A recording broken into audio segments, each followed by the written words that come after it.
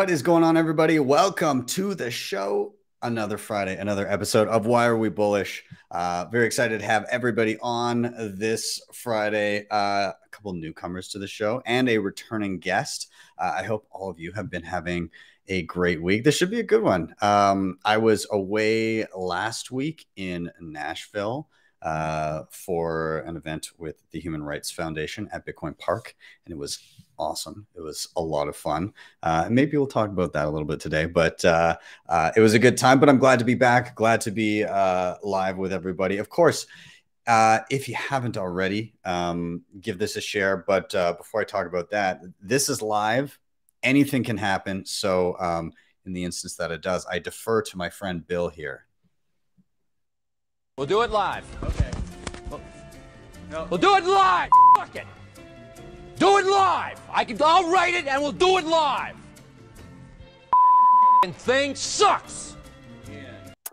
If you have not already, please do like, subscribe, share. All those things, they really help a ton getting this show in front of more eyeballs. That little like button, it's just right down below there. If you tap it, really does help a lot. Anyways, guys, I am Ben with the BTC Sessions. This is your daily session.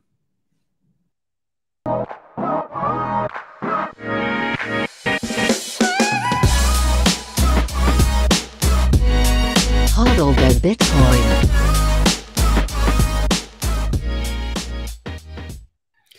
Before we dive in, let's take a look at where we are in the market right now. This is timechaincalendar.com. We're sitting at $26,592 per coin. A single US dollar will grab you 3000 761 sats. Uh, in terms of fees, little bit of a bump lately. We're looking at 48 sats per byte next block. If you're willing to wait a little bit, 16 sats per byte, but uh, I wouldn't count on that.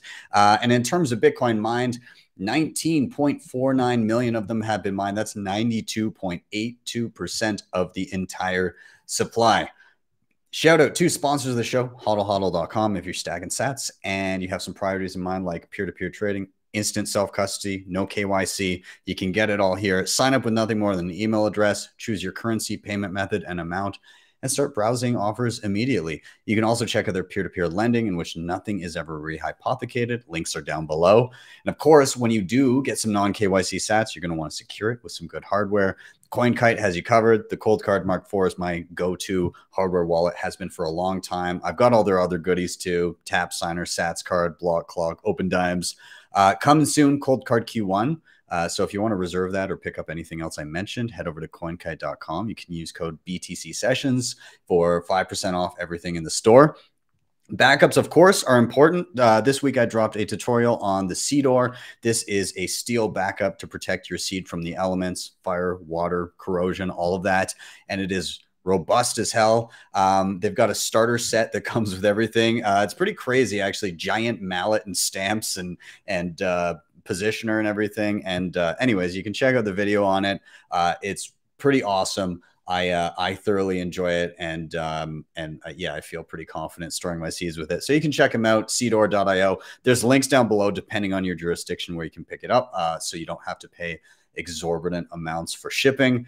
Um, couple last ones nunchuk.io has you covered with multisig assisted multisig with their honey badger basically you set it up on your phone it walks you through the entire thing you can use a ton of different options for hardware like tap signer Coldcard, and plenty of others at the end of all of that, you have a multi-sig in which Nunchuk holds one key and you hold the rest.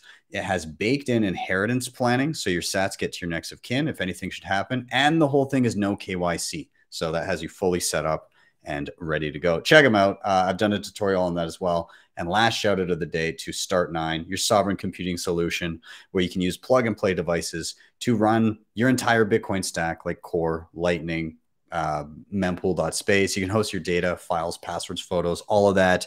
And they've got everything from entry level up to what I'm running, which is the Start9 server pure.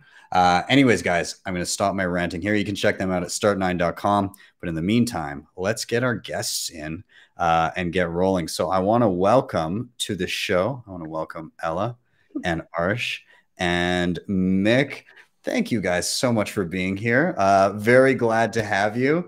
I think um, some introductions are in order for those that are watching that may not be familiar. So, Uh, I'll toss it over to Ella first. Ella, do you want to give yourself a little intro? Let people know who you are. Absolutely. First, thanks, Ben, so much for having me on. Um, my name's Ella Hough, and I am a junior in college. But the real reason I'm here is because I'm a project lead at Generation Bitcoin, um, along with Arsh, where essentially our mission is to help educate Gen Z about Bitcoin and then also help them eventually work in Bitcoin. Uh, so, not just learn about it, but really become innovators in this space as well. That's awesome. I love to hear. I, I think. Um, we definitely need to put time into educating as many young people in and around Bitcoin as possible. So, uh, noble cause. I'm, I'm happy that you're on it. Awesome. Um, Arsh, I'll toss it down to you. Can you give yourself a little intro? Definitely. Yeah. Thanks for having me, Ben. Um, as Ella mentioned, I'm the co founder of Generation Bitcoin. Um, and I also work at the Human Rights Foundation, where I work on our financial freedom program. That's awesome. Yeah. And uh, so what, uh, I first met you, what, in uh, Pacific Bitcoin last year, I think. Is that right? Briefly. Yeah. Yeah, yeah, and then we've since seen each other at uh, a handful of HRF events, which is awesome. So uh, I'm glad to have you here. Uh, it, I I guess it's been a long time coming. So uh, yeah, thanks for joining me, man. Thank and uh, Mick, First, uh, this is your second time on the show. Last time was an epic one. I'm glad to have you back. Can you give yourself a little intro for those unfamiliar? Yeah, of course. So good to be back. Can you hear me all right? Yep, I got you loud and clear. Uh, yeah, so I'm Mick, MetaMick, um, co-founder and CEO of Geyser.fund. It's a platform for creators to launch their projects or ideas and and uh, fundraise through their community. Um, I believe you Ben have utilized it, so uh, we'd love to also hear at some point. awesome, awesome. Well, uh, I'm glad to have you back, man. And um, yeah, so so this should be a good chat. Uh, we're gonna just dive right into it. Um, first, those unfamiliar with the show, uh, format's pretty simple. All of us come with a reason for being bullish, something that we're excited about in and around the Bitcoin space. It can be really anything that that currently has our interest, uh, but the role, the run of the show is effectively uh, somebody's going to drop a reason why they're bullish. Uh, that's their chance to rant and, and get uh, whatever they have in their mind uh, off of their chest. And then number two, we're all going to together riff on that reason, chat, figure out what little rabbit holes we want to go down. And then number three, we're going to rotate until everybody has a turn. So really simple reason, riff, rotate all the way through. So I'm going to get us started today. And um, with my reason for being bullish. And uh, very broadly, I guess I could say um, the Bitcoin builders have me bullish on uh, on, on on the projects and the amazing um, apps and services that uh, they are busy creating. But I wanted to uh, shine a spotlight on somebody that I've known for a long time, who seems to have pumped out like just low key pumped out a whole bunch of stuff in the past little bit that uh, has kind of blown me away. And some of it hasn't has not even been fully public yet. So um but i mean it's not meant to be a, a secret but I, I, can talk about it a little bit here because the talk wasn't televised. So i want to give a shout out to uh francis pouliot and what he's doing with bull bitcoin. Um, so anybody that doesn't know bull bitcoin or, or maybe doesn't know specifically what what they do um, i worked i worked with francis at bull bitcoin for a year year and a half or so. Um, and and effectively what it is is uh, you know it was one of the first bitcoin only um, exchanges that existed. Um, so he he was one of the first to say, no, no, no, no, we're we're not going to be dealing with any of the the other riffraff that's been happening. We're just going to focus on Bitcoin. Um, but prior to it be, being called Bull Bitcoin, it was called Bills, B Y L L S, and effectively it allows anybody in Canada at the time uh, to pay any bill that they wanted. They were able to uh, plug in to um, the payment rails in in Canada. Um, and in Canada, there's basically like a single like Telpay is is kind of responsible for pretty much any bill you would pay. So they were able to plug into that and then provide a platform where uh, you could say, "Hey, this is my account for this particular bill, um, and I'd like to pay this amount on it." And they would just say, "Okay, here's a Bitcoin QR code. Scan it and pay that amount, and we'll handle the rest." And your bill is paid within 24 to 48 hours, um, which was already wild. But then he went and he did all this stuff like adding lightning, adding liquid, adding all of these different things. The whole thing, if you're buying Bitcoin from them, is is non KYC uh, in in certain instances if you want it to be. Um, he also was the first exchange to implement CoinJoin as a privacy feature anytime you you send coins to them. So this post here, he said uh, Bull Bitcoin started as the world's first uh, Bitcoin bill payment business. 10 years later, thousands of Canadians use their services each month for everyday payments, privacy focused, extreme speed, instant exchange rates, uh, lightning enabled. Um, so he goes on to say you pay a credit card bill on chain, no KYC. Next day, the payment appears on your statement with no mention of Bitcoin. You tried chain analysis on your transaction, but it disappeared into a coin join or pay with Lightning, not even a transaction ID. and then he says the American slash European mind cannot comprehend this because it's just it's not it's not available in other places. So, you know, first off, hats off to for that. But he also dropped uh, this bomb earlier um, in the month, which is is being able to buy Bitcoin with cash through any post office in all of Canada which is crazy. Like you can you can walk in with like up to a thousand bucks um, per transaction and up to ten thousand dollars a week, and just go and and you literally open up uh, an app on your phone and there's like a QR code, and the person at Canada Post doesn't need to know at all what it is. They just scan it like a regular product, and then it'll say on their screen how much does this person want to deposit? And you just you tell them how much and you give them cash and then you've got money in your account. For me it was like 10 or 15 minutes later. Um, they never hold bitcoin for you so the moment that those dollars are allocated to your account uh, when you hit buy bitcoin you must provide a bitcoin address and then it's after that it's in your custody minutes later. So that's the other bomb that he dropped. And then just the other day all of a sudden because uh, he, you know, Francis is in Costa Rica now. All of a sudden, it, it, it just got leaked, and then he was like, "I guess I better write a blog post." Uh, Bull Bitcoin is now all over Costa Rica, and you can just go anywhere. And they've integrated with this kind of national payment through the cell phone kind of thing, and all you need to do to send somebody money in in the native currency in in Costa Rica is you use Bull Bitcoin you type in the person's mobile number um, and then you send a lightning payment. And that person will get uh, uh, costa rican colones into their account like in in seconds. It's it's completely wild. Um, and then beyond this the other thing that i want to give a tip of the hat to was he did a talk at the canadian bitcoin conference talking about kind of the infrastructure he wants to build around a mobile Bitcoin app for Bull Bitcoin, which would effectively be the same rails that they have for funding an account, but never having um, custody of the Bitcoin. Because when you hit the buy Bitcoin button, it would just show up as a Bitcoin balance in the app, but the app is actually self custody but it's kind of blurring those lines because the dollars are in in the custody of of Bull Bitcoin, but the second you hit buy, it sends an actual on chain or Lightning transaction to the wallet that resides within the app, and it's actually yours. And on top of that, you can import hardware wallets and send directly to that. So, like, it's all just in one. And you're kind of basically directly onboarding people to self custody without them, you know, they'll obviously guide them, but without them fully knowing they're just suddenly self custodying.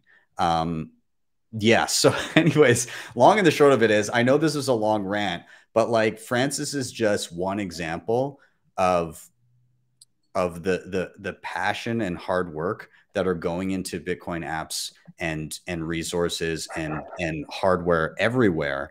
And um, if this is the kind of work ethic and and the kind of um, head down, let's get this stuff done mentality that is happening across the Bitcoin ecosystem, then holy hell, I can only imagine what this looks like in 10 years. So um, I guess I'll, I'll kind of wrap it there, but I'm just going to kind of generally open it up to you guys and, and, and say, where do you feel we're at in terms of the Bitcoin builders that are out there? Um, are you excited the direction that we're going? And and maybe as a, a secondary question is, what areas do you think need some more attention in this kind of TLC to to help them along? So whoever wants to jump in with your general thoughts, I'm I'm happy to take them.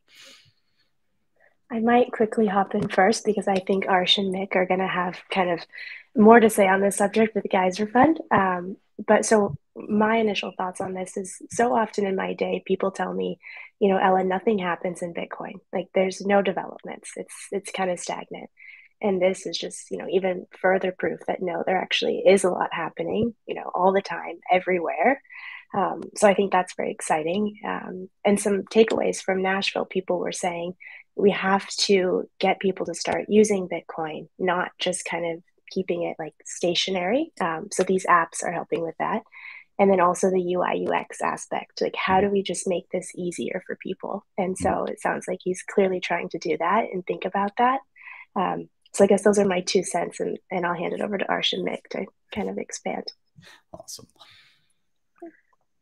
Yeah, so I think I think from like a funding perspective, um, especially like there was, I mean, there was a point in time where a lot of you know Bitcoin and its app ecosystems were not as easy to use, right? And it's, we're still like nowhere um, close to being fully usable. I feel like, but mm-hmm. you know, like I mean, the developments that we've seen with um, a lot of open source, you know, payment processors, a lot of uh, wallets and, and, stuff like that. Like, it's definitely um, advanced to the point. So definitely bullish on um, Bitcoin builders. Um, I feel like there's more and more projects that are, you know, coming out of the space uh, that are that are really important to kind of keep an eye on. Yeah, I totally, totally agree. Yeah, Mick. Yeah, you... yeah, great, great points here. Uh, I think my my thought, my first thought, well, immediately actually was, um, I saw him on the chat here was the meme that Ye- Yellow always talks about, which was, guys, let's build, right? Let's build. I don't know if you guys have heard of it. It's just it's hilarious. Yeah. It's uh, just um, just you have to just say that you're building, even if you're not building. You're just yeah, let's just build, guys. anyway, um, the other thought was uh, the announcement of, of Coinbase saying that they're going to integrate with Lightning. I think mm-hmm. uh, that's a very interesting, you know, uh, development. Mainly because I think at their, the foundation, the, the business model changes, right? It goes from being we make money by having people trade uh, crypto, right? To mm-hmm. we make money by having people spend Bitcoin on Lightning. Right. So this all of a sudden creates a, a new in, uh, new set of incentives for Coinbase to actually enable Bitcoin adoption at merchants, at uh, consumer retails, and so um, it, it, it, it's big, right? It's big from from that perspective. Um, obviously, you know we know their history. We know we can't really trust them, uh, but uh, it's good for Bitcoin. Yeah. Um, and then I would probably just say just that you know uh, are being part of it. You have you know this this in, I mean, know, great protocols on top of Bitcoin and, and Lightning that have been that have been built, and you have these infrastructural um, uh, builders. You know, great great companies like BTCPay Server, like Voltage, that help to kind of really lay out the foundations for them pe- people and platforms like like, like Geyser. Uh, but there are many more. You know, there's Fountain, there is um, uh, Wavlake and Stacker News. All these uh, you, um, tools uh, like Bitcoin and Lightning uh, tools that actually allow you to use Bitcoin, not just to buy and hold, but mm-hmm. to actually use Bitcoin in the online economy while you're listening to podcasts and so forth. So, so that's uh, something I'm really hopeful for and bullish on. But also, I'd say that the, the final thing is probably just the development of Nostr and um, what's particularly exciting is just that it makes it so much easier for for for builders to build. Mhm. You know, um, just because you don't have to run a, um, a backend server or connect to Google Cloud, you can just build an application that sits on top of a relay directly, and um, and build a tool on top of that. And so, just the ease of of building uh, will result to just so many so many more tools, so many more applications, um, and um, and that's really really exciting. Yeah, yeah, I agree, and and yeah, you're right. The um, in particular, the stuff happening on Nostr, I, I can't keep up. there's there's there's so many. Uh, like I have no idea where to start. I feel like I think I've done.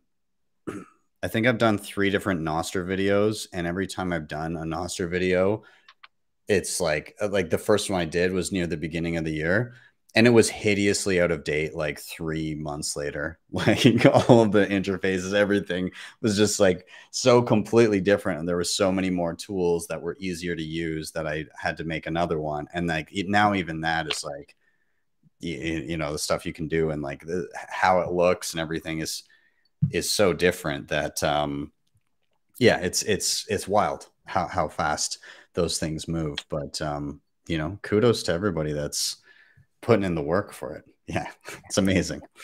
Um, so, so I want to. Um, I, I don't want to spend too much time on on my topic here, uh, but I do want to get to your guys' topic. So, um, I'll I'll kind of put a bow on this one. But anyways, uh, Francis, you're doing a killer job, and the rest of the builders out there, uh, keep it coming, and uh, I'll have plenty of material to cover in videos. Um, but we're gonna do a rotation here. Um, and so I'm going to actually toss it to Ella first, and I'll cue you up with the simple question Why are you bullish? Thanks, Ben. Okay, so I'll preface this with this is definitely going to fall into the rant, a little unformed category. Um, so I'm, I'm going to talk through it. Bear with me, um, and then hopefully I can go back and refine it. But I, so about a year ago, I wrote a piece Bitcoin Mag and question is Bitcoin the key to the universe? And I said yes. Um, but I don't think until like maybe last week or the week or until the Michael Dunworth um, podcast came out on Peter McCormack, where his question was basically, can Bitcoin help us solve the unsolvable problems? I wasn't, I didn't know I could be more bullish on my answer that the answer is yes. Um, so, okay, so this is the rabbit hole that um, my brain is kind of down at the moment. Um, but if I had to say it succinctly, I would say that I'm bullish on Bitcoin because it gives us the wisdom and the insight to kind of solve the unsolvable problems and actually is the key to the universe. And I'll kind of explain that. Um, so, for the first part, I think Bitcoin just generally, like the values it has, it allows us to take more responsibility for ourselves, to start ask questions. It's kind of like a catalyst almost for first principles thinking. Um, and not just kind of like maybe throw in the towel or kind of give up some of our agency on what is right or what is wrong or what opinions we have. Um, so I think just the fact that it kind of reinvigorates the spark in us to like ask questions um, and think differently is a very strong case for being bullish. Um, but then to, to tie, bring it back a little bit to what Michael Dunworth was saying, um, and, and I highly recommend people go and watch this podcast. Um, I've watched it a couple times since. Um, but Bitcoin kind of allows us to solve the hardest problems we have out there because it kind of unifies everything through its emphasis on numbers, specifically like prime numbers and energy. So, kind of at the end of the day, we hear all the time Bitcoin is just math, um, Bitcoin is just numbers. And so that's kind of what I had in my article. But um, okay, so this is this is where it's it's going to go a little off, not as concise here. But basically, there's this idea almost of like bridge laws, um, and we have you know biology, chemistry, physics, thermodynamics, all the different types of sciences and there's an idea of you know what bridge laws how do all of these different fields talk to each other? Um, like what is the common threads almost through them? And numbers is kind of what he, one of the things he says is numbers are like our purest form to transmit meaning. Like language can get a little abstract, especially when you're switching to different types of languages. Um, but Bitcoin, because it's based on numbers and on energy, I think it allows us to connect a lot of different dots in fields um, and kind of reduce friction as we think about different problems. And, you know, what do we know in one field that we don't know in another field? Um, so it helps us connect dots. It also helps us like collect them because it's just making us be more curious, making us ask more questions. Um, and then I think maybe the final thing I'll, I'll say in this is he also made the point that we've been in kind of the information age, but we're starting to go into the energy age. And so Bitcoin, we know it's you know created and secured by energy. Like Bitcoin is the ultimate energy thing. Um, you know, if we're going into the energy age, also, um, that's very interesting. Um, and let's see, what else was I thinking about this? So yeah, basically, Bitcoin's the key to the universe because it helps us solve these problems that propel us forwards. Problems maybe we don't even know yet. Um, literally, because it's based on numbers, prime numbers, because it's created and secured by energy. Um, and then I think because it allows us, maybe most critically, to just adopt a low time preference, to actually stick with the hard problems and solve them. Um, so there's there's my rant. There's kind of like the rabbit hole my brain is down. Um, but I just I find that all incredibly fascinating and very hopeful for the future and, and where the future is going.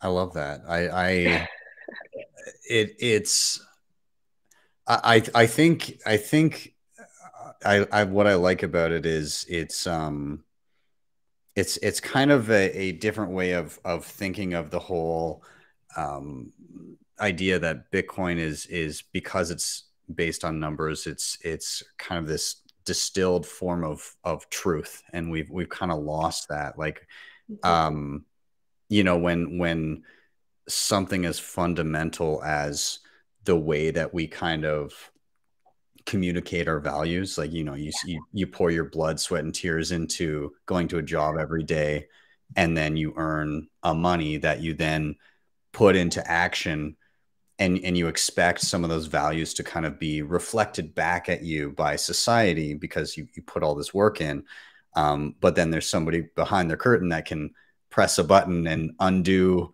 vast amounts of the work that you've done and all of society's done. And i, I think that's maybe a reason for a lot of the um, discontent that we see in society. So getting back to a more truthful value communication layer um, can kind of propel us forward as as a as a people as a society so yeah, yeah. I, yeah. I, I love it and yeah on the language topic i guess this was totally like another tangent article i wrote uh, like I don't even think anyone's read it. Um, but basically, kind of how language only gets us so far, and even like we're all speaking English right now, but like Ben, you just nodded to kind of mm-hmm. signal that you were hearing what I was saying. Mm-hmm. Like we still lose so much meaning even when we're speaking the same language.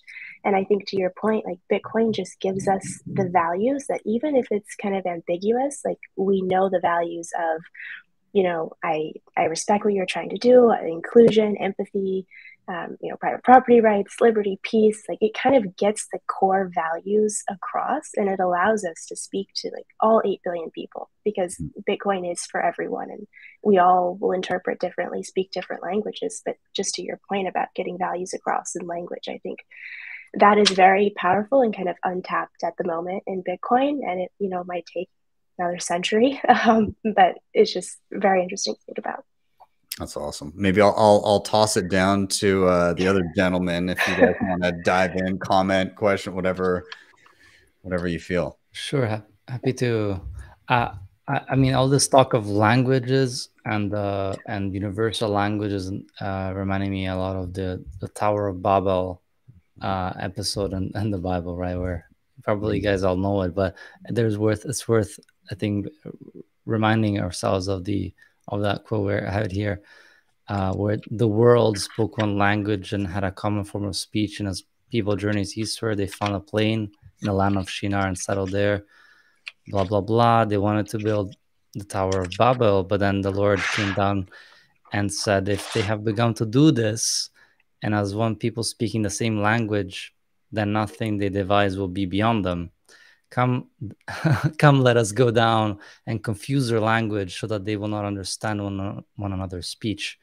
And so the lord scattered them from there over the face of the earth and they stopped building the city. So um yeah is god gonna come down to us and uh, divide us now that we've reconnected the world in a single language?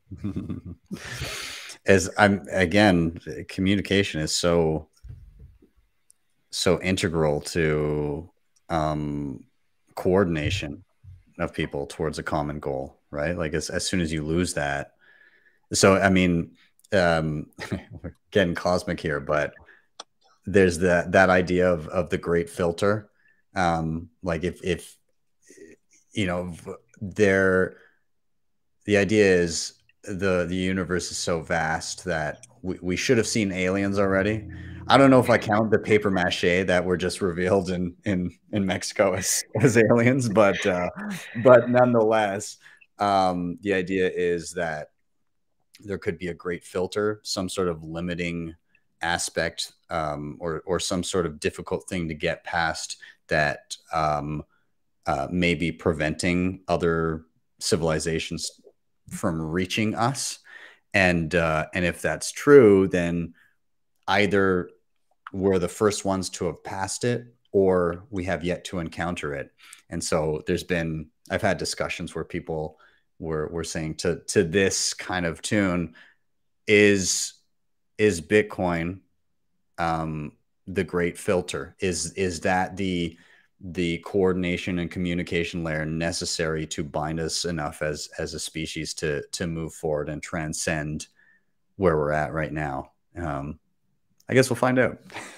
Anyways, Arsh, sorry to cue you up with uh, some crazy cosmic thing, but um, no, I just I just got a reminder that I have to go reread that article. There was a lot there, Ella. Um, no, I mean no no particular thoughts, but but yeah, great great article. Yeah. it's nice that kind of ideas resurface themselves. Like mm-hmm. i don't know oh it's like working like back in the subconscious but i you don't need to read my article again. I would say just watch just watch the podcast. Michael does a much better job than me. Um but yeah it's just fascinating to think about. Yeah. Well, when you think of kind of the uh the consequences of of not having um kind of a, a, or or moving away from a universal value of language uh, um, language of value rather. Like we we had a we had a gold standard but that was it was easy to pervert that um, by by uh, having it represented in in various forms and and the the physicality was its shortcoming but you know do you feel like we we we lost things in that transition to what we've had for the past, I mean, 50, maybe more years. Do you feel like, uh, you know, what, what happens when we get away from that, that mutual understanding? Yeah. So I think I kind of have to give Jimmy Song credit for this idea that I'll share, but I guess he talks a lot about like what are the values in our money, kind of like moral money versus immoral money. And I think the money that we have now, fiat, is just very immoral money and kind of value and meaning corrupting money. And I think Bitcoin is a much more moral money, more um, kind of pure element to just transact value or, um, you know, what, because essentially we're just trying to connect values or needs or and I think Bitcoin is just a much pure um, kind of catalyst or, or kind of embodiment of that. So I hope that kind of answers your question. But I definitely think the money that we live with now kind of just embeds us with or, or just kind of corrupts our ability to transact in the most kind of ethical, pure way. Yeah. Um, Mick, I, want to toss one more thing your way since since since you went the biblical route. Um, I you know, I, am I'm, I'm not a religious person myself, but um, I I think through Bitcoin I've kind of come to have a, a, greater appreciation of of people that are religious because of uh, some of the ethical alignment, and I I didn't quite understand this um this idea of religion paired with Bitcoin, other than the fact that we're Bitcoiners and we're all in a cult. But but uh, but I didn't under you know I didn't understand um, kind of where where this draw came um, because we have books again like Jimmy Song, um, thank God for Bitcoin, um, and a number of others wrote that with him. But um, do you kind of see those those parallels like uh, in, in, terms of morals like why those those two kind of um, sets of ideals come together? You only ask easy questions don't you goodness. Uh,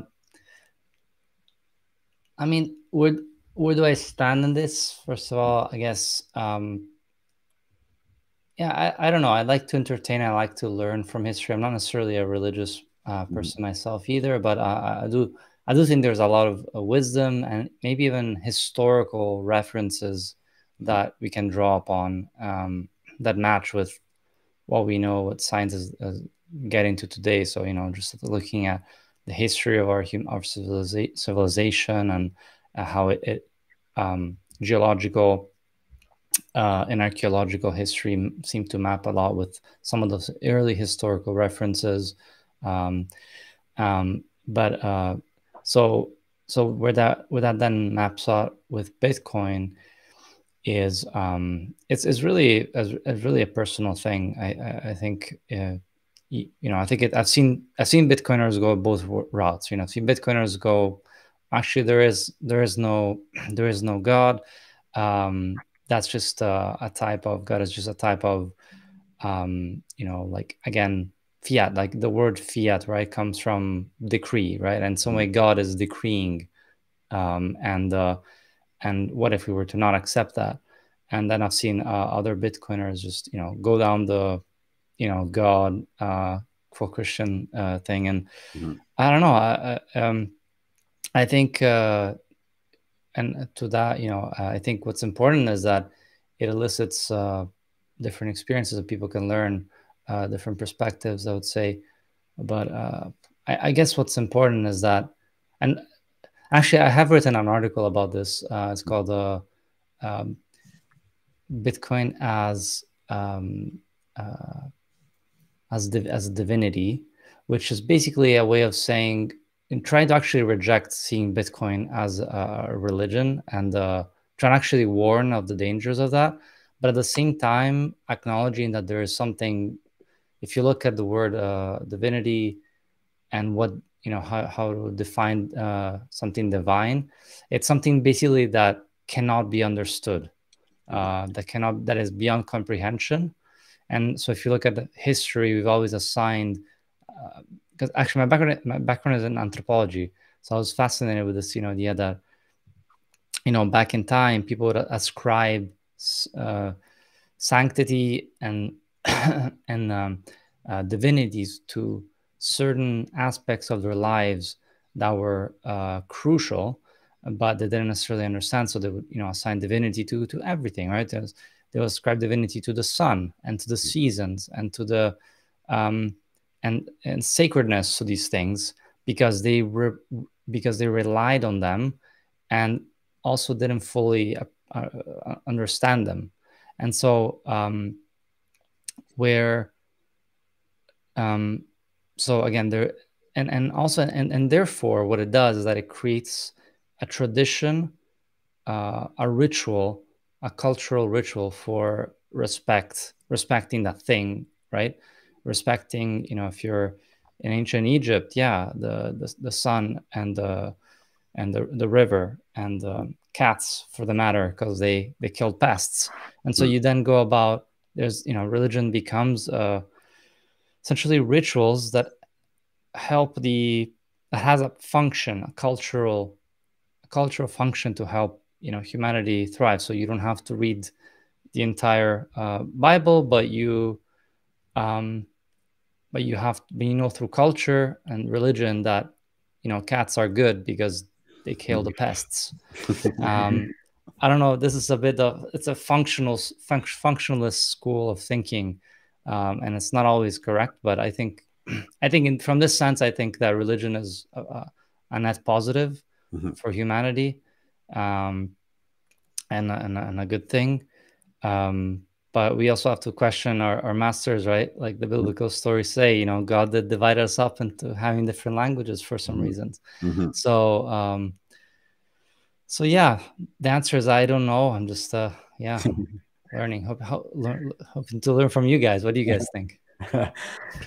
yeah, I mean, I, I, I wanna, I wanna toss it to Arsh to get any, um, any last thoughts on this. I just, I just wanted to I guess the one thing that I was going to say in and around this is, um, you know, historically, I I definitely understand religion was was a a a wonderful way to get people to um, uh, again to synergize and, and, work towards a common goal because they they they were looking for not just for themselves but for their children and and for their grandchildren and and for you know generations to come. And so they would build these amazing things that maybe they wouldn't see come to fruition even within their lifetimes but they would put in the work to um, you know to have something for future generations to enjoy. And we kind of got away with that when once the uh, away from that once the money broke.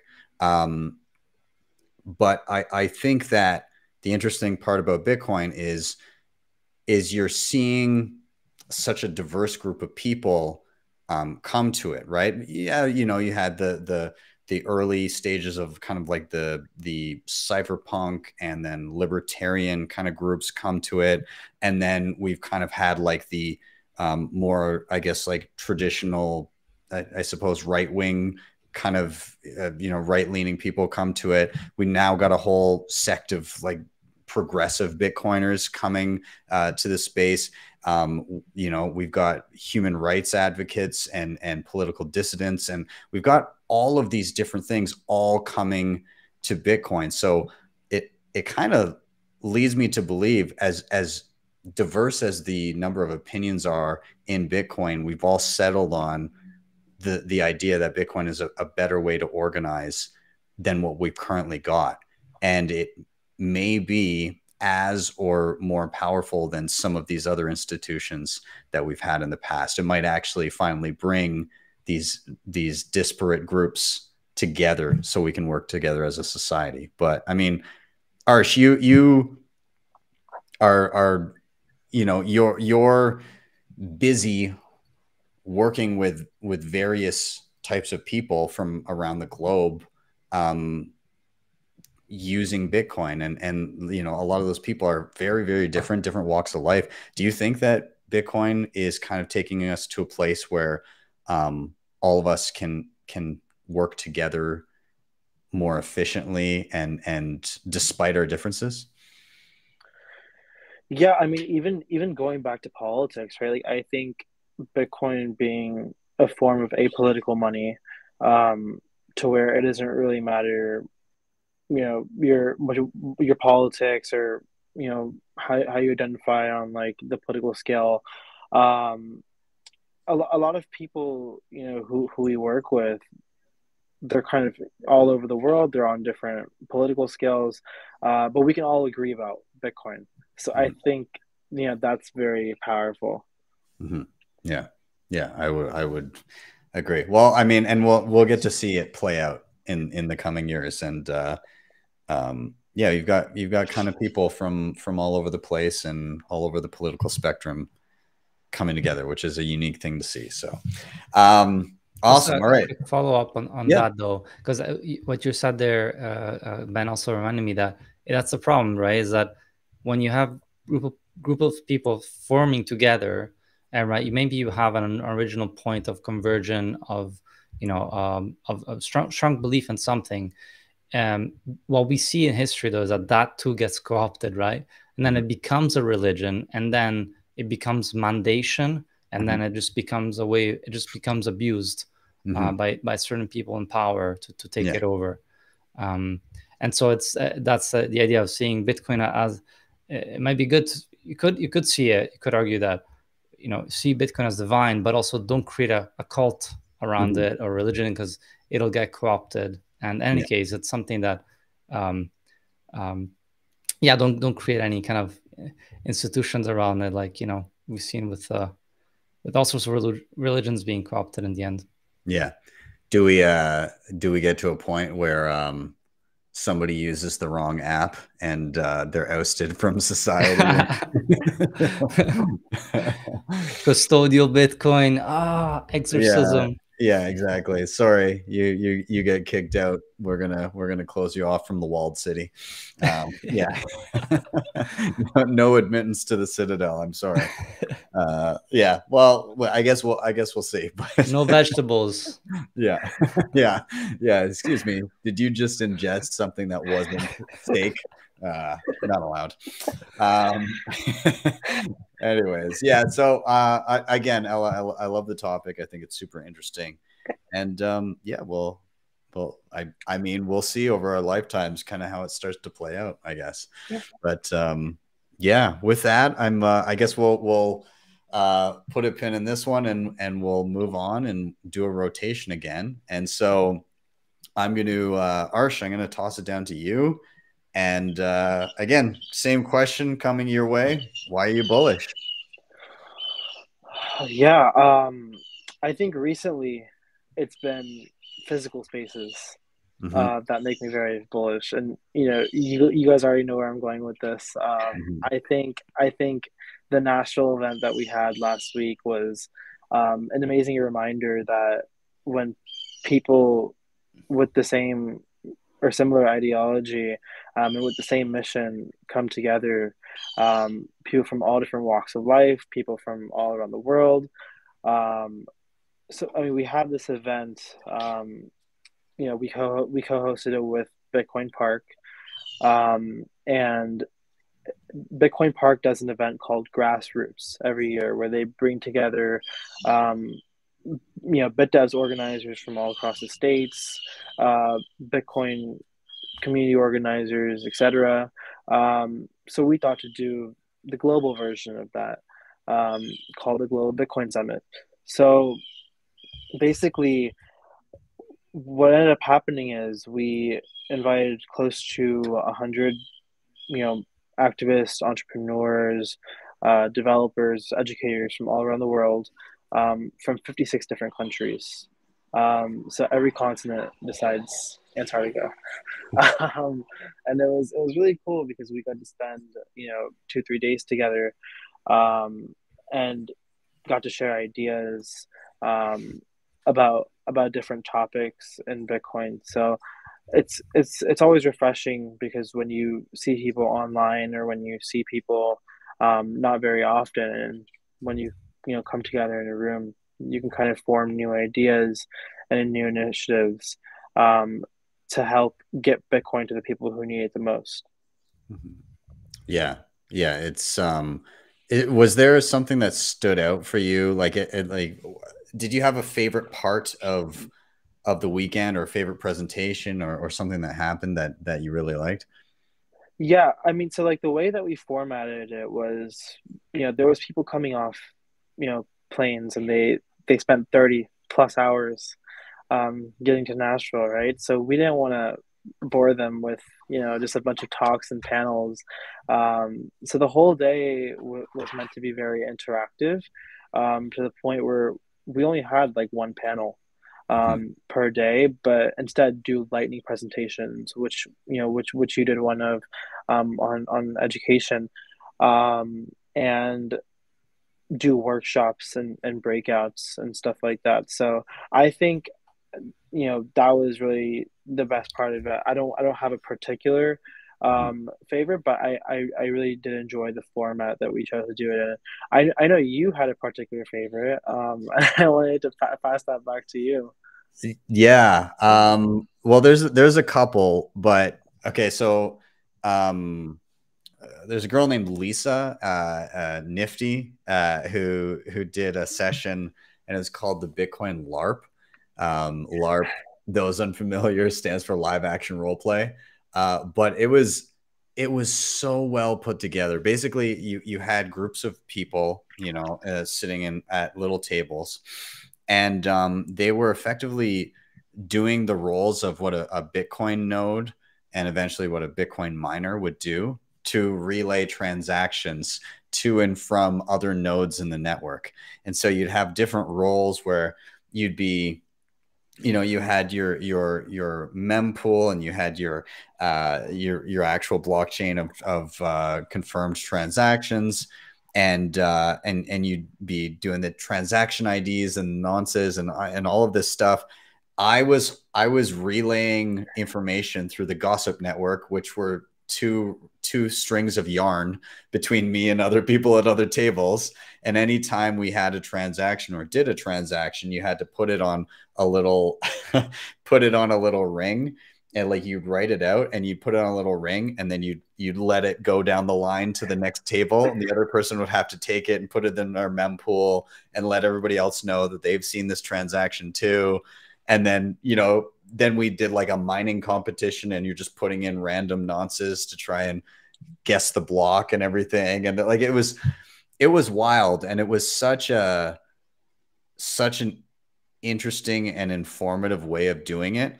Also i learned something there which i'm ashamed i did not know how this worked. Um, i didn't know that the way that fees are allocated in any transaction I didn't know that was just merely an omission of of sending that Bitcoin to any particular place. So like when you're doing a transaction, the way you pay fees is you just say, I've got this much Bitcoin in a UTXO, and I'm only going to send a portion of it to this address. And whatever's left over, it's that's what the miners kind of scoop up in that trend. I I didn't know that. I had no idea that was how it worked, and that's why the number of Bitcoin that exist is some weird, some weird like long, super long decimal is because miners can accidentally not scoop up those omitted sats. And so there's been instances where there's been mistakes, and it's just like, well, the block has been mined, and those sats are just gone forever and it's just because miners like they make a mistake and they they don't scoop up the omitted uh, sats from particular transactions. So, anyways, I learned something new, and hats off to Lisa for running a killer session uh, that that taught me a lot. And um, yeah, what an amazing! Uh, she must have put so much work into fine tuning that that whole thing and getting it to work. And I loved the um, organized chaos that took place in that room. It was it was amazing. Yeah. So I, I didn't actually get to like sit in on that session, um, mm-hmm. you know, because we had a bunch of other tasks and items that we had to do. But um, Lisa actually one of one of the first times that she did that LARP was with um, Generation Bitcoin in New York uh, mm-hmm. over a year ago. Um, so we had you know probably like like 15, 20 people um, in in New York City, and um, it was a very like interactive way to learn um, about about nodes. Um. I, I told Lisa she should make it into like a game and like try to like oh, yeah. sell it, but she has. I mean, she has so much so much stuff that she, that she does. I don't know how she does it.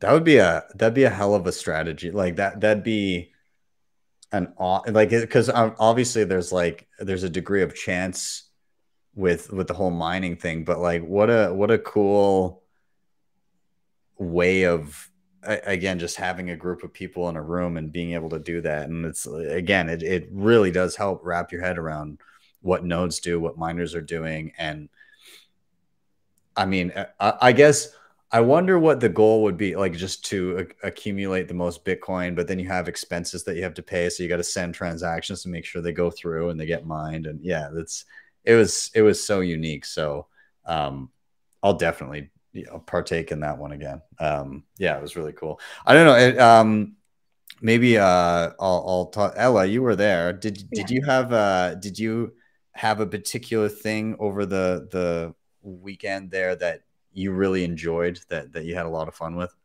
Yes. Well, actually, I was initially going to say the same thing as you because I was in the LARP session also.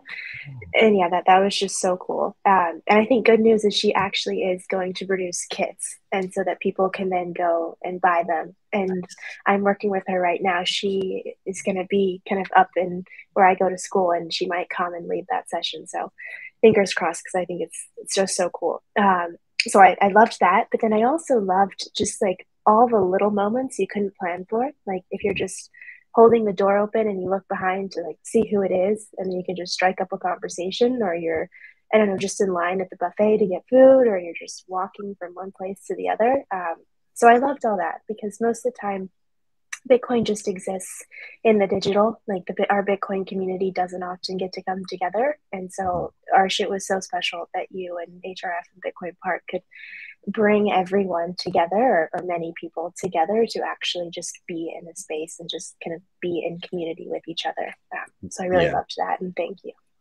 Did your uh, did your eyes gloss over a little bit when we went around the room and everybody oh. stood up and said what what who, they are and what they do? yes, hundred percent. Um, yeah, all the time, and at, at the dinners that you all planned, and you know, you're just sitting and you sit down and you know you look and see who you're sitting across from or mm-hmm. you know who's on the bus with you or yes yeah. absolutely the whole time i spe- i felt like kind of like the smallest fish in the pond there and it was it was just so yeah. cool I, I i had a moment on i think it was the the saturday i was uh i was sitting at the hotel just um grabbing a, a coffee before heading out somewhere for a meal and uh, I'm sitting there, and this guy comes up and sits down. And says, hey Ben, didn't didn't really get to introduce myself, but nice to meet you. It was Julian Assange's brother, and I just about lost my mind because I hadn't really spoken with him before, and I was kind of shy to say anything. Um, but like, what a nice guy! And then just just sitting there be- and like having a casual conversation, being like, "Oh wow, um, you, your your your brother is like one of the more impactful like again like uh, his his graced the headlines of of newspapers everywhere is is is world renowned and and infamous in some people's eyes.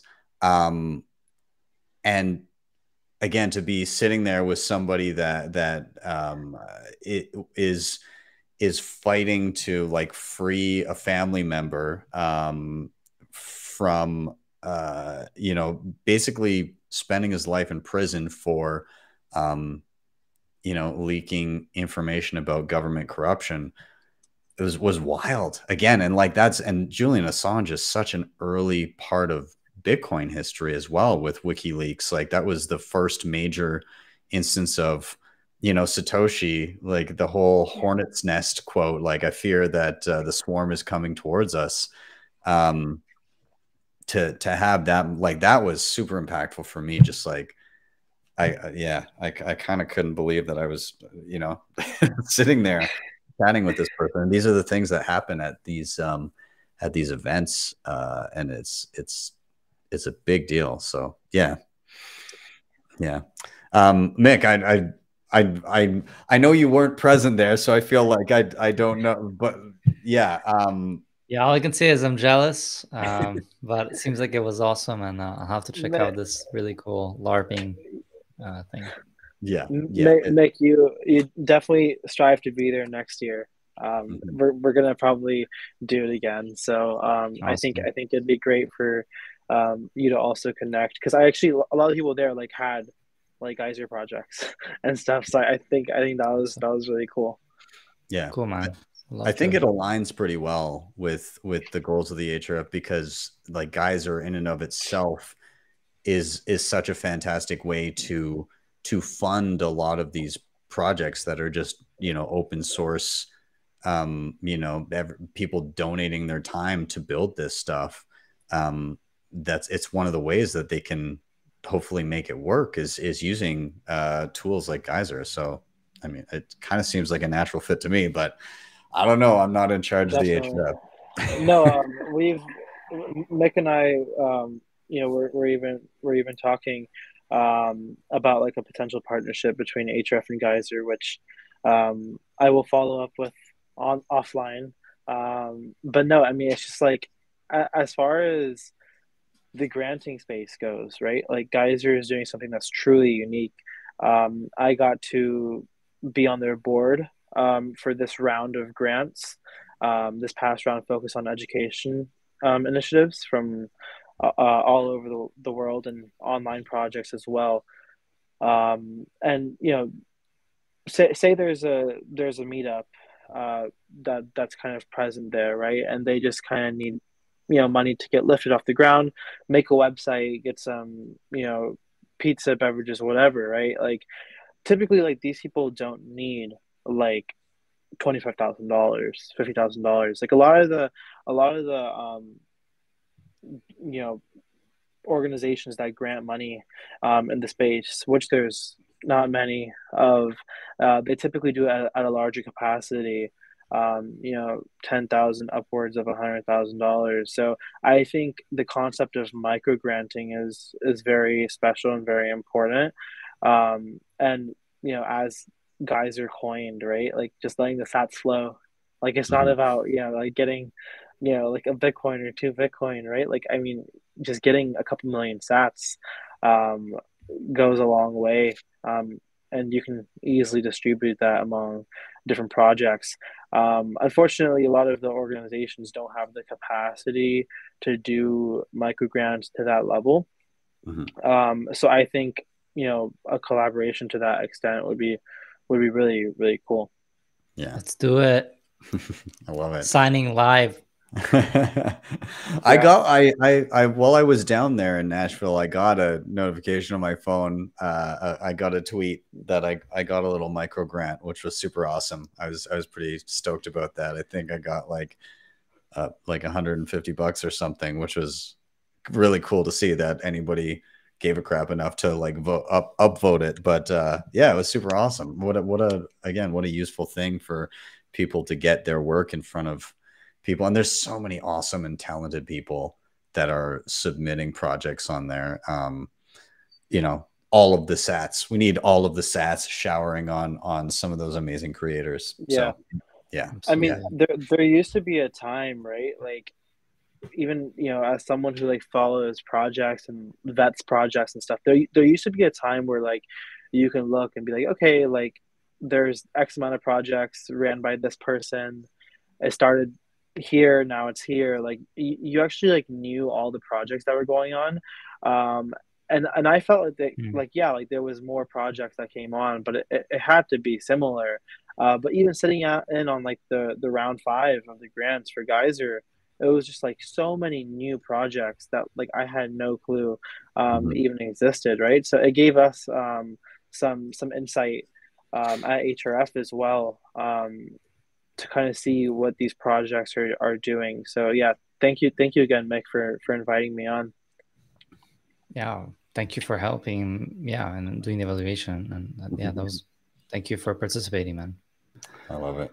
I love it. Uh, well, I mean, with that, I think um, Mick, I should probably uh, uh, send it your way then and uh, do our final rotation. And again, i am going to cue it up with the same question. Why are you bullish? Take it away. Yeah. So uh, Arsh uh, stole my thunder there, um, but I'm just, I'm just joking. Uh, the so yeah, I, am bullish uh, as Arsh said with uh, Bitcoin educators. Um, we just had this this grant round five focus on Bitcoin education in um, in in uh, education Bitcoin communities, mm-hmm. and it, it was exactly as Arsh said, just um, just mind boggling how much is happening. Uh, I, I that I I didn't even know about.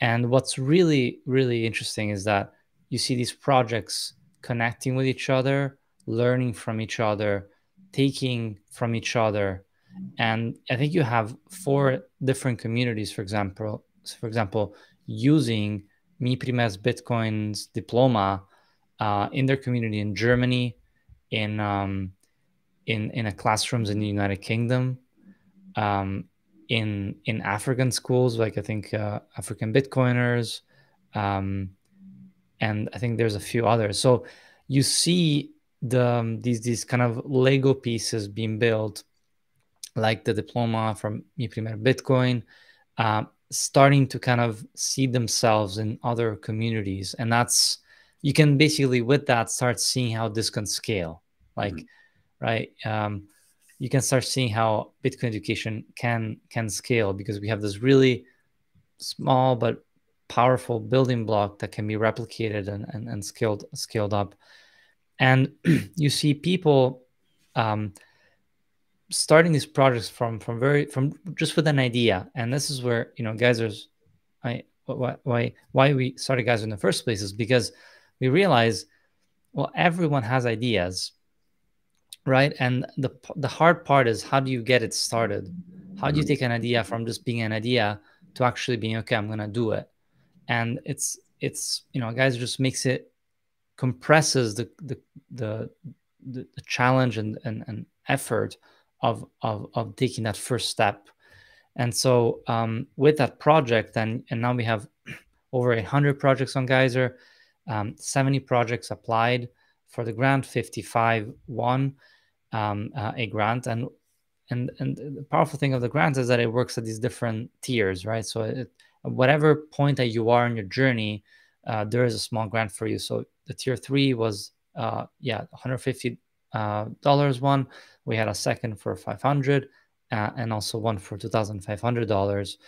And um, and everyone could you know could essentially um, kind of ramp up their uh, their, their, their work and and a lot of it is also just connecting these communities that are uh, as I said all over the world. We had.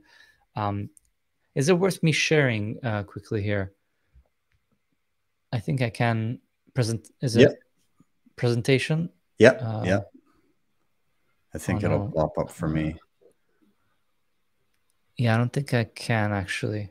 Do you want me to pull up uh, just like the Geyser Fund page?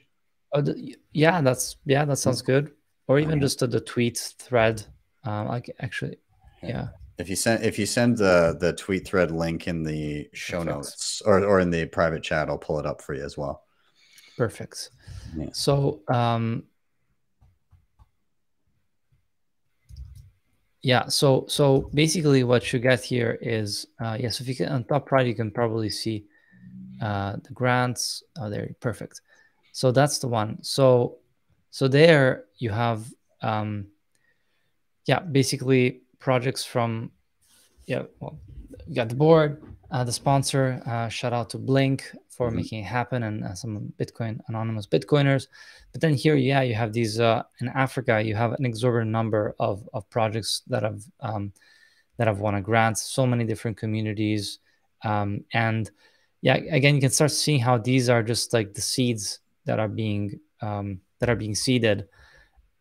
And but you have the same also in Asia, right? We have um, um, again all over. You've got Hong Kong. You've got uh, I think you've got something like forty different countries here represented, mm-hmm. and um, yeah, Europe, South America, and some of these are just people that were like, I want to, I want to make this happen. You know, it's gonna be small. It's gonna, uh, but we want to start having a community space, doing education, and we can just take the open source uh, Mi Primer Bitcoin curriculum and start and start using it.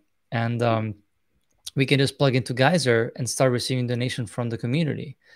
And um, and so yeah, so this Geyser grants ends up being a very powerful thing that works for both starting to kind of uh, get that initial uh, bit of funding, but also more importantly to connect you with the rest of the network of the community, uh, learn from them, um, be inspired by them, and and um, and kind of be part of that learning process. Mm-hmm. So yeah, it ends up being you know a lot of work for us, a lot of operational work, but it's you know um, also there we, we we we got a lot of help from uh, Lee, who uh, is uh, helping us organize the, the grants. So that shout out to, to Lee, and um, and yeah, uh, it's it ends up being such an, a powerful way to kind of bring the community together. And um, yeah, I mean, there's a lot to say, but that's kind of the gist of it. Yeah, that's what a, again, what a great tool. And like when you when you go in to Geyser and you you take a look, even just aside from the grants, just the all of these projects that are so incredible. I mean, my first Bitcoin is is uh, I, I remember chatting with them at I think Bitcoin 2022 or maybe it was 21 even. Um, and it wasn't quite a thing yet. And to see what it's become uh, is is wild. But like again, just the the ability to go in and choose like, oh, do you want to maybe look filter by education, community, culture. Um, again, so like just looking at the education stuff here, again, some of the most funded stuff this this week, and you can you know toggle all these settings but it shows you all these great projects that are going on the Découvre bitcoin the guys in in france mm-hmm. what they're building is amazing um it's it's such a well refined um again educational track it's it's awesome to see um there's there's just there's so much going on. And uh there's there's again there's anita. Anita was also down in in nashville and uh and and man what an awesome educator she is. Paco was down there. He's he's crazy. Um but, he is but, definitely. But i love kind of him. crazy. Yeah uh, yeah good crazy. uh, the, yeah. um, the Mi Primer guy guys were there as well. Um and it was very cool seeing like how um, a lot of different it's been translated into so many different languages and stuff now as well. Yeah. Yeah ex- exactly. Like there's there's so much. Um again you've got max demarco uh amazing filmmaker. Um, I think uh, Julian is on here as well, aka uh, Kinetic Finance, and he's doing really amazing video work. Um, there's just a whole bunch there's me yay. Um, but the, but there's there's so much going on um, that oh i'm and i'm glad to see urban hacker is getting a little bit of funding for his he's got like a cool retro video game thing to teach you about bitcoin that he's putting together. Um, but there's yeah there's there's so much there that you can dive into. And even if you're just browsing through and you want to see kind of you're just you're just curious about what people are are making and what kind of interesting tools or fun things that you can check out. Just go to geyser.fund and just poke around and you're going to you're going to come across things that you're like oh wow i didn't know anybody's working on something like this. And and there's there's a lot of really cool stuff happening and i i can't recommend checking out this page more because man there's some creative people out there. And uh if, if you're a creative person also you should probably get on geyser. Maybe i should make a tutorial around how to do that. Oh man we have to do that. Let's uh yeah we should yeah. do that for sure. Love yeah. to, I, I, think that's maybe that's something next to that we should uh probably do. Yeah. Great yeah. great idea. Yeah. And I'll, I'll just say that yeah you know right now geyser is you know uh, the, the the front page is you know just seeing what's there and and searching it's it's quite you know basic you know just have, helps you find a project or discover. Um, but but you know you you, in the in the next months you'll see a lot more happening. Uh, mm-hmm. um, that's not just uh, discovering but really interacting and engaging a lot more. That's that's cool to hear. Awesome. Um, for now like if, if somebody wants to start playing around with Geyser, do you do you want to maybe kind of give like a TLDR of of what they need to do to to get started? Yeah, sounds good. So uh, it's uh, it's really it's really Geyser's built for for for everyone, right? So if you are uh, a hardcore Bitcoiner and you want to keep full custody of your of your Bitcoin and and uh, and have a non-custodial project, you can just plug your node. Um, currently, it's it, it just supports uh, LND uh, and ClearNet. We're still working on, on the other options, but um, doing so would be quite easy. Um, in fact, in that case, Geyser will be free to use. We don't charge uh, to any creators that are connecting their node because we want to incentivize that. We want people to um, to, to, to use our nodes and and and and, uh, reward people that are uh, that are helping secure the Bitcoin network. And that's uh, once you do that, you just connect your node uh, or your Lightning address. And so you can just uh, plug in your Lightning address, and then you'll get all the sats received directly into your custodial or non-custodial wallet. So, you know, this is you know I think 97% of projects right now use uh, Lightning addresses, mm-hmm. which is to say that you know not everyone runs a node. Mm-hmm. Um, but everyone uses Bitcoin, right? So many people can use Bitcoin and leverage Bitcoin, and think of all the people and you know around the world, right? Um, from the Philippines to India and Nepal that don't have access to crowdfunding, right? That now can use crowdfunding thanks to Bitcoin. Yeah. Uh, and we just make it a lot easier for them to quickly get get set up and have a page. But then, yeah, once you plug in your node, you can you just have a few uh, say, say a few things about your you know the title of your project, the one liner, the description, and um, add also some tags so that you can be searchable um, add links, and then you're off to the races. It, takes you know one minute to create a project, um, and then you know maybe a few more minutes if you want to add a little bit more texture, and then mm-hmm. you're yeah you're off. It's it's really really quite straightforward and smooth. Uh, the project goes uh, live automatically, mm-hmm. and then we just do some basic uh, due diligence to make sure that it's not like an impersonation, uh, to make sure that it's not um, you know committing fraud or you know is you know not like uh, endorsing violence or, or, anything like that. Mm-hmm. Um, so Geyser still is you know a platform uh, for now, mm-hmm. Eh, in a sense that it's you know we still uh, have a terms and condition and we still have to uh, respect the um, uh, the rules. If you are looking for a fully non-custodial experience, it still suggests other options mm-hmm. like maybe uh, using Nostr or using BTCPay Server. Mm-hmm. Um, those are also you know fantastic options. But Geyser tries to really push forward the you know easy to use, you know leveraging Bitcoin, uh, plug and play kind of solution. Yeah, and um, yeah, but going forward, we we yeah we also have more plans with Nostr that I'm happy to discuss more if you like. Oh, that sounds interesting, huh? I might I might tug on that string.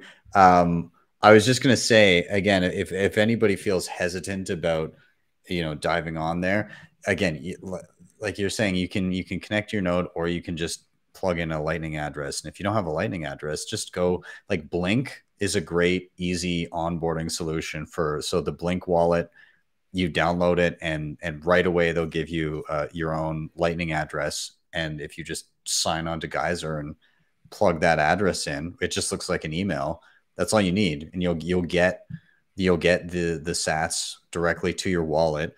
Um, and then I should also say that yes, that's custodial, but it it probably won't be long before we start yeah. to see non-custodial oh, options that please. also have lightning addresses. Oh, can't wait for that.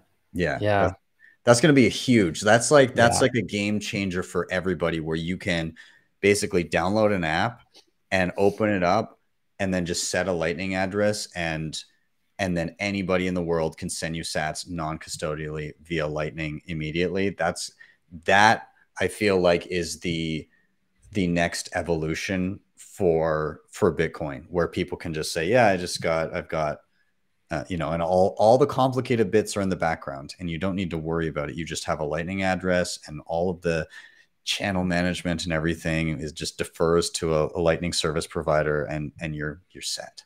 That's going to be great. Oh man. Yeah, yeah. Um, times. so i heard mention of Nostr here. Are you i don't know what you're at yeah. to say.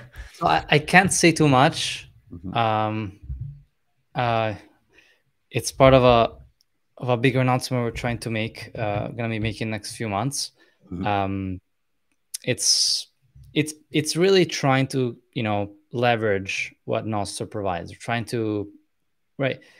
Let me just kind of maybe highlight the problem.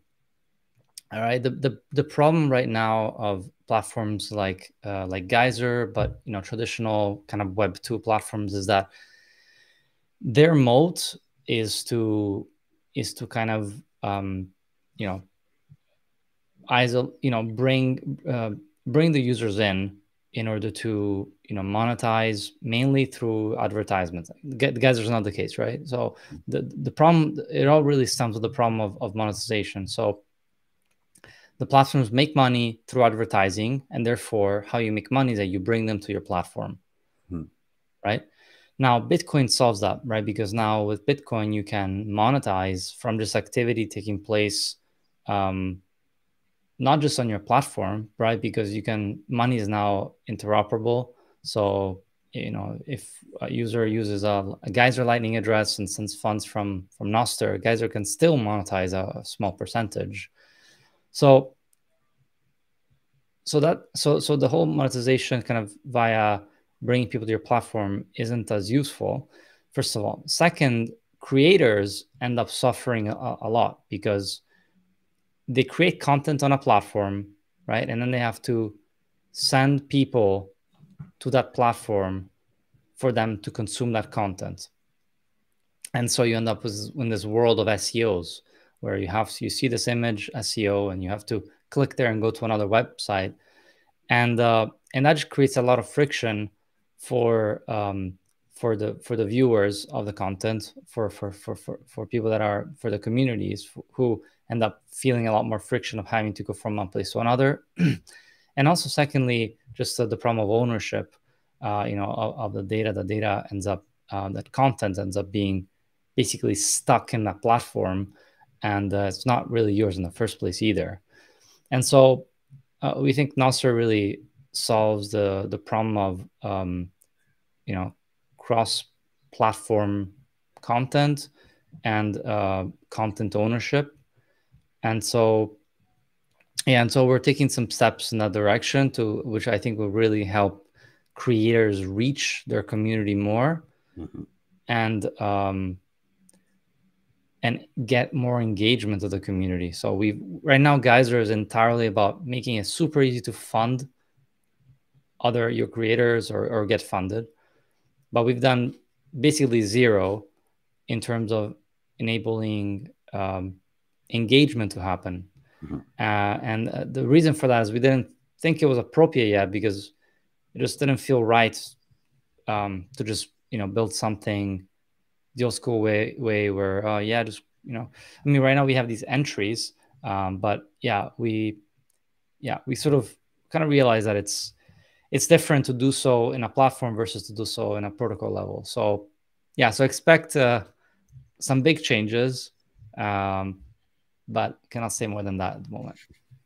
Very interesting. Well, uh, I will be watching. Um, I'll also be watching on Nostr to see what pops up and what kind of hints I can find. But uh, yeah, that's that's very exciting. By the way, this is also streaming live to Nostr, so uh, I'm sure some there's some Nostriches that are watching right now and curious about that. So that's super awesome.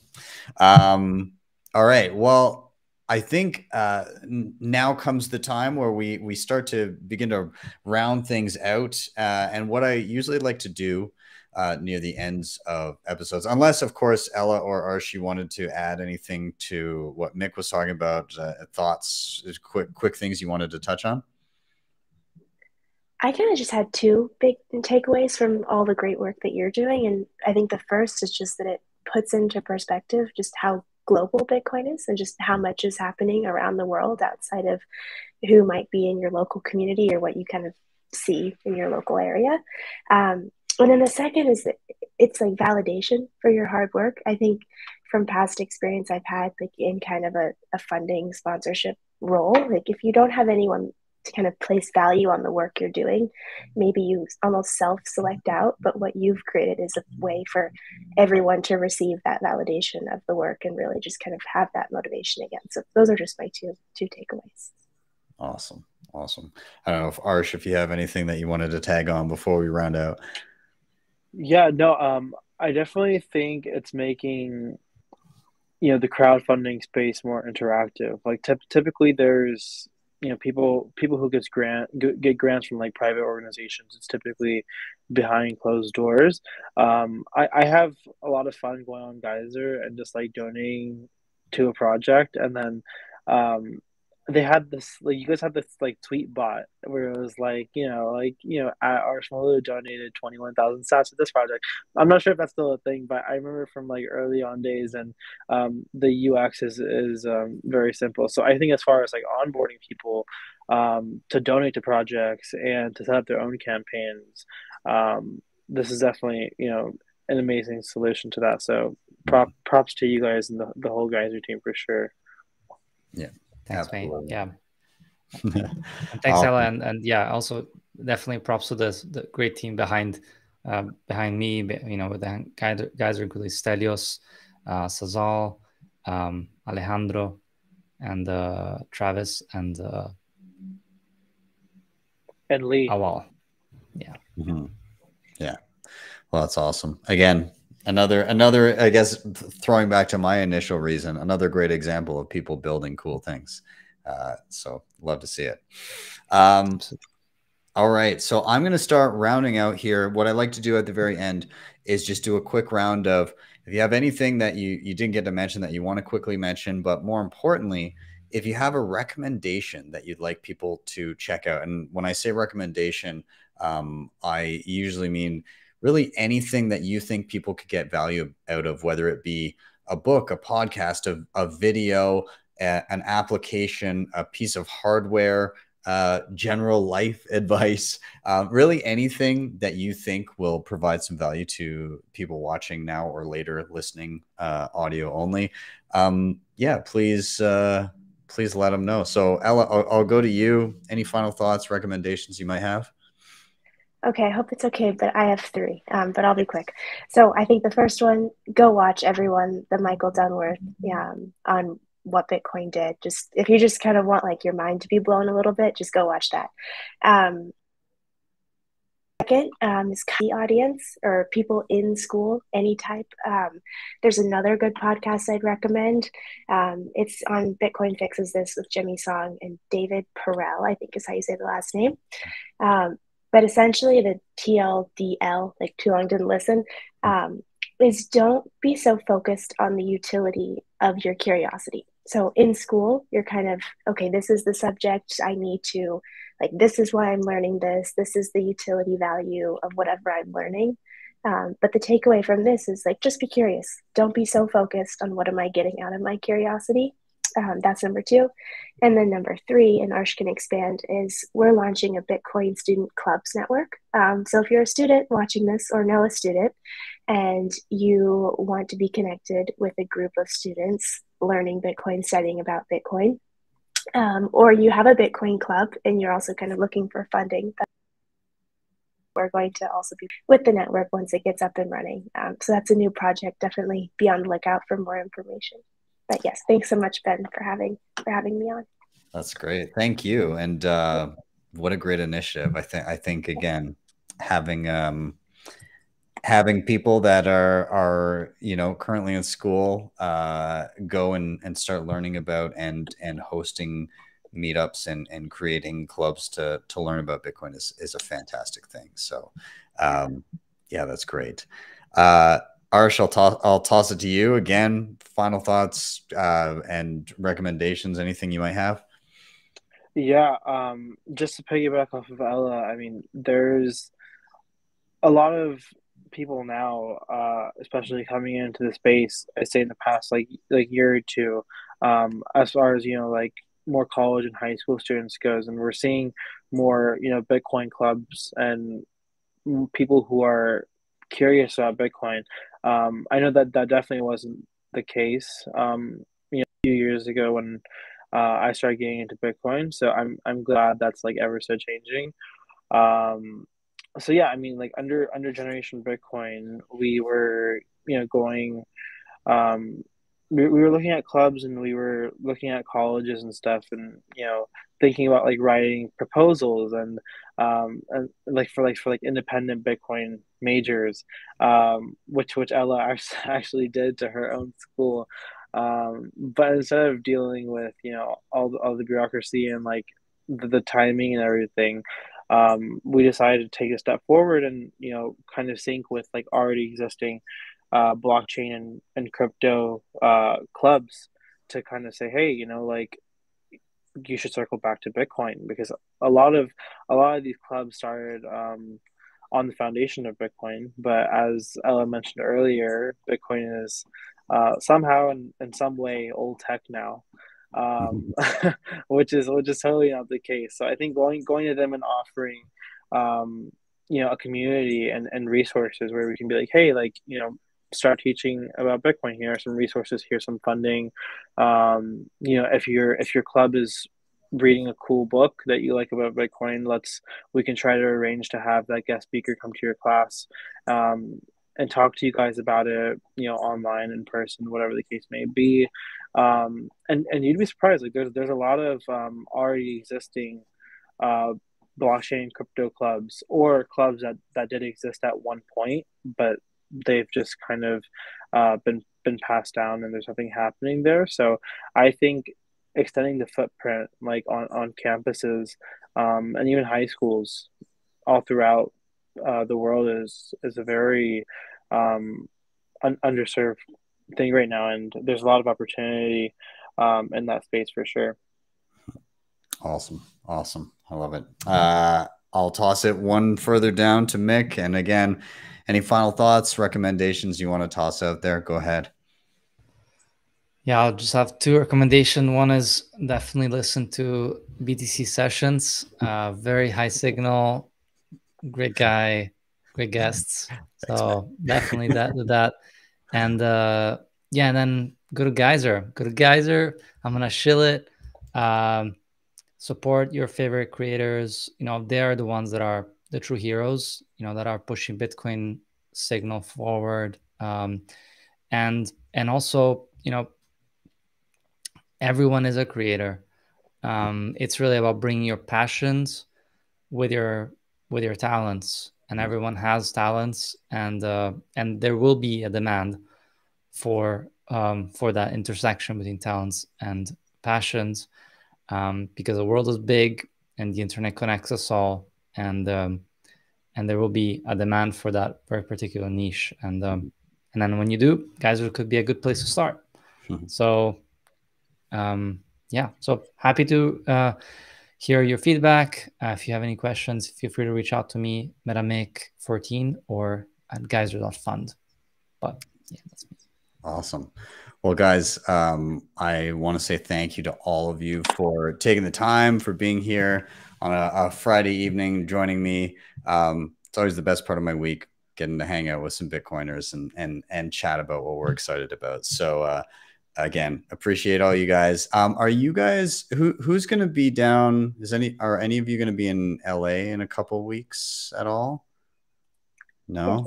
Yeah ella you will be? Okay awesome. Arsh, are you down or no uh not not this year uh glad gladstein will will be there though okay cool awesome well ella shouldn't you be in school i know i am i know i know i know Thank oh. goodness I have friends in some classes to help me with. Yeah. But yes, Bitcoin's important. Just wondering if you were actually in university or. I'm just kidding. That's that's all part of learning. It's uh, yes, conferences are so critical. Yeah. yeah, yeah. Ever ever since Bitcoin started, um, you know, being being a role, like we've always been a bad influence, dragging um, Ella to like conferences. Like she came to Nashville. She she's going to Africa um, later this year. Uh, so yes. I think it's I think it's it's definitely great. But but yeah, thank thank you again, Ben, for for having thank us. You, ben. Yeah, yeah, thanks, no ben. worries. Yeah, thank, thank thanks so for much. being here, and uh, and and I'm I'm sure I will see all of you uh, before long um, at at some event uh, if it's not LA. So thank you guys very much. Have a great thank weekend. You. you too. Bye. You thank you, man. Bye. See you everyone. Bye.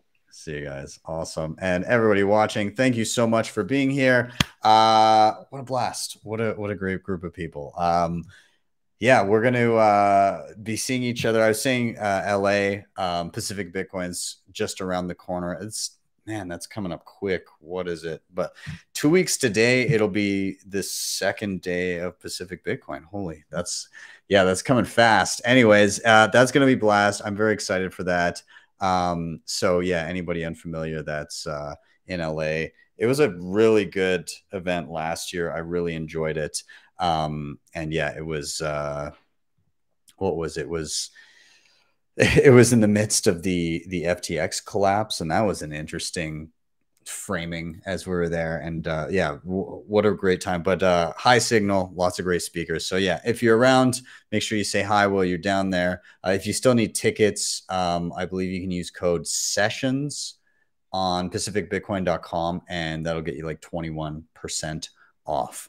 Uh, so yeah, anyways, also if you're going to be down, I'm doing my workshops. My I've got two workshops going on. I'm doing my TAPSIGNER workshop, which is uh, we're going to be learning about a couple different things here. So effectively, what you'll be able to do is you'll learn how to use Nunchuk Wallet on mobile. You'll learn how to set up and use a TAPSIGNER, and then you'll learn how to use multiple TAPSIGNERs to create a multi-sig wallet. So I'm going to be doing that uh, on the Saturday morning after Pacific Bitcoin. And then in the afternoon, I'm going to be running my Coldcard deep dive. So that's everything like setting up a Coldcard, using it, uh, doing transactions, um, doing uh, air gap transactions, uh, wiping the entire device, and then also uh, restoring it, and then also diving into some of the advanced features. That's a beast of a workshop. It's like four hours long. Uh, so you'll walk out of there knowing a ton about uh, about the Coldcard. Uh, either way, both of them are happening on October seventh, the Saturday in the morning and the afternoon. Um, and uh, last time I did my workshops in in Miami, I just did the one, but uh, uh, that one totally sold out. So if you want to come, um, get in before they're gone. I think there's there's six left for the multi sig one, and there's five left for the Coldcards. So uh, coming quick. Anyways, guys, I'm going to wrap it up there and I'm going to say thank you so much for being here. Uh, of course, please do like, subscribe, share, all those things. Super important. They really do help the show. Uh, you can also um, hit up the previously mentioned sponsors. They're all down in the show notes. Uh, and then if you really liked what you saw, you can always uh, hit up my website, btcsessions.ca. There's tons of free information there, ways to book me for one on one sessions, all the workshop information. And uh, also, if you want to drop a, a, a, tip, my Geyser Fund page is there, uh, which we got to talk about a little bit today. Anyways, guys, I'll wrap that there, um, and uh, and I'll just say thank you so much for being here. Have a great weekend, and um, I'm Ben with the BTC Sessions. This was your daily session.